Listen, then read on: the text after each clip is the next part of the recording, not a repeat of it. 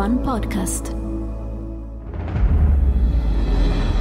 Che film guardo stasera? Ve lo dico io, Betty Senatore.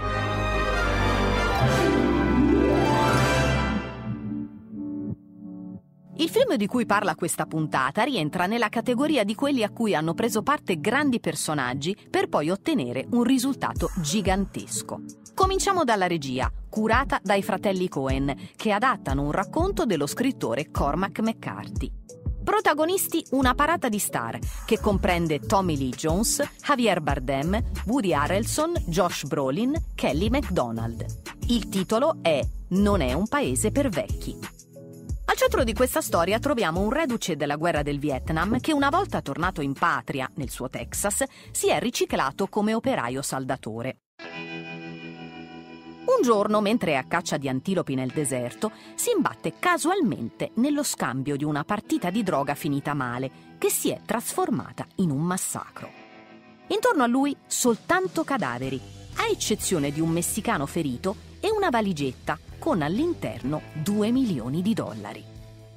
L'uomo prende la valigetta, poi, in preda ai sensi di colpa per aver lasciato il messicano ancora vivo in preda agli spasmi, decide di tornare sulla scena del delitto, ma si accorge di essere seguito da un furgone.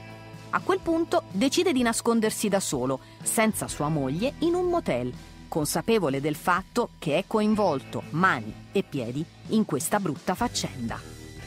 Lo sceriffo della contea si incarica di investigare e cerca di tranquillizzare la moglie del reduce, facendole credere di poter proteggere l'uomo, per quanto possibile.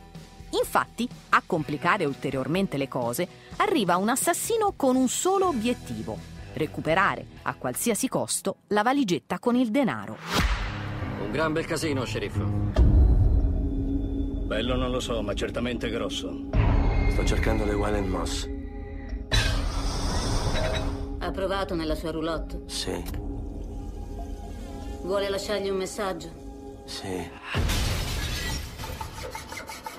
Se non torno, di a mia madre che le voglio bene. Tua madre è morta. Allora glielo dirò io.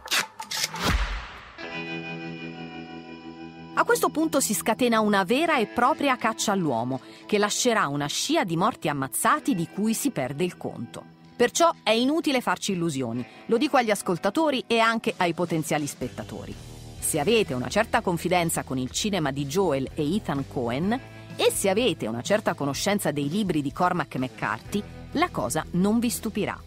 E allora, in questo caso, mi rivolgo a chi non è abituato a un certo cinema ritenuto giustamente d'autore.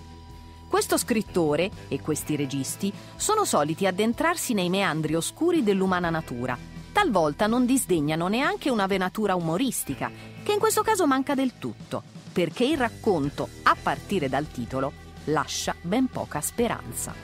Però l'unione di questi grandi nomi ha fatto la forza e la differenza perché non si contano le decine di nomination ottenute nei più importanti concorsi cinematografici.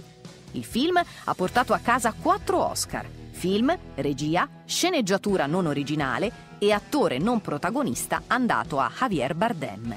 E poi ancora due Golden Globe, tre premi BAFTA e svariati altri riconoscimenti, compreso il nostro David di Donatello come miglior film straniero. Anche sul fronte degli incassi questo film è stato un successo, perché la sua corsa ha accumulato un bottino di oltre 171 milioni di dollari in tutto il mondo. Inoltre è riuscito nella piccola e insperata impresa di inserire il proprio titolo nello slang, cioè nel linguaggio comune di tutti i giorni. Molte volte vi sarà capitato di sentir dire che questo o quell'altro non è un paese per vecchi. Ecco, nasce da questa storia.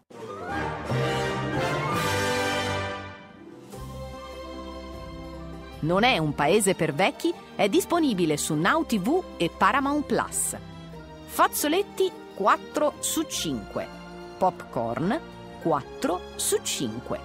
Lo consiglio perché racconta un mondo dominato da avidità e violenza, come succede nelle storie scelte dai fratelli Cohen.